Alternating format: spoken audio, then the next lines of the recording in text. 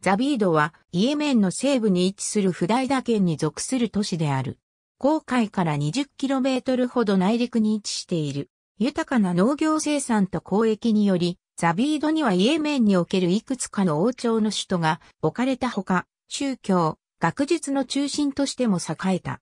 しかし、16世紀後半以降外が追尾すると、地域の中心は、フダイダに移り、以後のザビードは、地方の小都市となっている。13世紀から16世紀前半にかけて、イエメンだけではなく、インド洋一帯のイスラーム諸地域における教育、宗教の中心地でもあったことから、1993年に古都ザビードとしてユネスコの世界遺産リストへ登録された。ザビードは公海沿岸に広がるティハーマ平野に位置し、ワーディザビードとワーディリマーと呼ばれる二つの和地に挟まれた都市である。晩春と晩夏には、アフリカ大陸から吹く南西モンスーンの影響によって、和地に水が流れるため、これを利用した農業が行われている。ザビードの町は、航海には面していないが、歴史的にアラビア半島の陸上交易路と航海、インド洋の海上交易路を結ぶ、結接点の役割を果たしてきた。またメッカへの巡礼路上に位置する交通の要衝でもあった。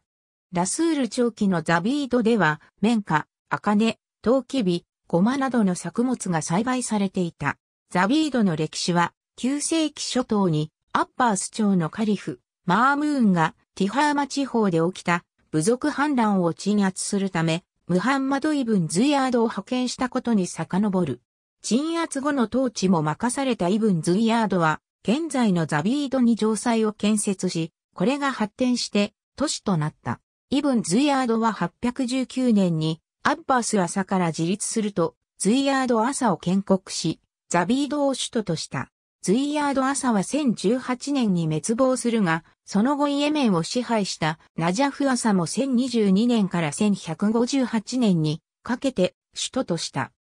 ナジャフ朝滅亡後にザビードはマフディー朝の支配下に置かれたが、1173年にマフディー朝はエジプトのアイユーブ朝によって滅ぼされ、ザビードはアイユーブ朝の支配下に入る。建設当初は一軍事拠点に過ぎなかったザビードだが、すでに10世紀に地理学者ムカッターシーがイエメンのバグダードと例えるほどの繁栄であったという。その後も着実に学術都市として発展し、12世紀の地理学者、イドリースイーも公開交易で賑わう様子を伝え、ヒジャーッツ地方、エチオピア、エジプトの商人がザビードを訪れ、エチオピアの奴隷、インドの香辛料、中国から輸入された物品が取引されていたことを記録している。また1173年から1228年のアイユー部長による支配期に、この地域で最初のマドラサがザビードに建設されたが、当時の建築物は大モスクのミナレットを除いて失われた。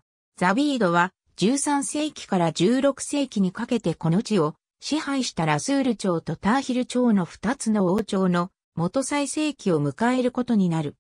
アイユーブ朝期までのザビードに建てられていた宗教、学術施設の数は少なかったが、ラスール朝の統治下で街の様子は大きく変わる。ラスール朝はモスクやマドラサといった宗教施設を次々と建設し、市場などの都市整備も積極的に進めた。ラスール朝時代には新たな施設の建築だけでなく、荒廃した過去の政権の施設の修復事業も行われた。ラスール朝がこのような政策を行った理由については、宗教的な政策によって支配の正当性を高めようとしたという説や、スンナ派の王朝としてイエメン北部を支配していたザイド派政権への対抗上行ったとする説などがある。この結果、14世紀後半にはザビードは4つの門を持つ全長約 9km の城壁で囲まれ、200以上のモスクやマドラサが林立する教育、宗教の一大都市となっていた。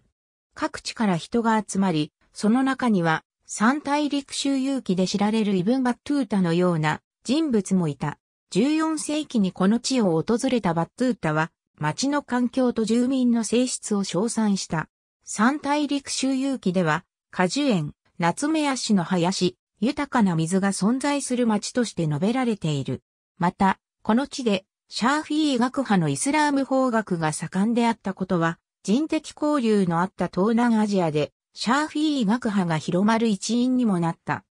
アシュラフ、イスマーイール在位中に行われた調査によると、当時のザビードの宗教、学術施設の数は240に達していた。ラスール朝の後に成立したターヒル朝もラスール朝と同様にザビードの整備に力を入れ、国費による宗教施設の修繕や給水などの都市設備の整備を行っていた。ターヒル朝の君主はイエメンにもたらされていない著名な書物を買い付け、ザビードで筆写を行わせていた。しかし、16世紀前半に対ポルトガルの拠点を求めるマムルーク朝がイエメンに侵攻し、1516年にザビードはマムルーク朝の軍による破壊、略奪によって大きな被害を受けた。翌1517年にはターヒル朝自体が滅亡し、権力の庇護を失ったザビードは徐々に衰退していくことになる。オスマン帝国の支配下に入った後、イエメンを代表する都市の地位はサナーに移り、ザビードは忘れ去られていった。ザビードのモスク町は城壁で囲まれ、中心部には大モスクやシャーフィー学派のマドラサであるザビード大学など王子の繁栄を忍ばせるものが存在している。町の規模に比べてモスクの数が多く、サナーに次いで多い86のモスクが存在する。大モスクからアルアシャイルモスクまでの道には数区が広がっている。ラスール・アサヨのザビードでは独自の建築様式が発達したが、後世まで残った建物は少ない。ラスール長期のものと思われる14のモスクは平屋根を有しており、イエメンを代表する宗教建築物として名高い。ザビードの一般住居は積み重ねられたレンガを漆喰で白く塗り固め、その上を幾何学模様のレリーフで装飾されている点に特徴がある。村バスに囲まれた狭い路地は迷路にも例えられている。シンプルな外観とは反対に、村バスの内装と家具は華やかであり、